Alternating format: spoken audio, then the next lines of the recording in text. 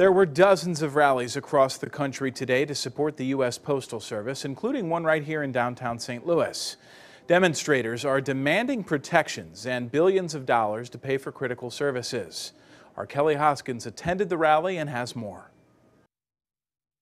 Well, as those demonstrations took place across the country, labor, elected, and community leaders all gathered here at the United States Postal Service in downtown St. Louis, holding signs calling for action to make sure that the mail is delivered on time. On Tuesday, thousands of people across America participated in the Save the Post Office rallies in various states. We want the post office to know that I stand with them in this fight because this is a fight. St. Louis is just one of many around the country to show support for postal services amid cost-cutting moves that led to widespread complaints about slow mail service. Among the cuts, the removal of mail sorting equipment and mailboxes created a political firestorm in a pandemic where mail ballots are expected to be critical. We just want to make sure the public knows everything the post office is going through and what we're doing, the unions are doing to make sure that their mail is delivered and delivered timely.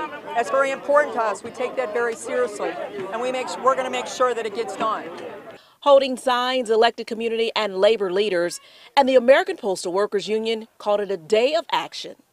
The group wants senators to pass $25 billion in funding for the Postal Service to stop and reverse the mail slowdown policies. The U.S. House approved the funding Saturday. I'm sure that everybody's noticed a slowdown in mail delivery.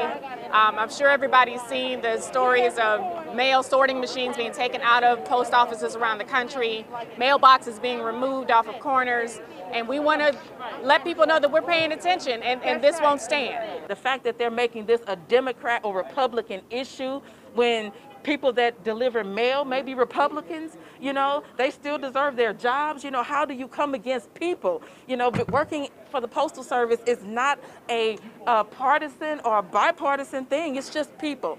Reporting in downtown St. Louis, Kelly Hoskins, News 11.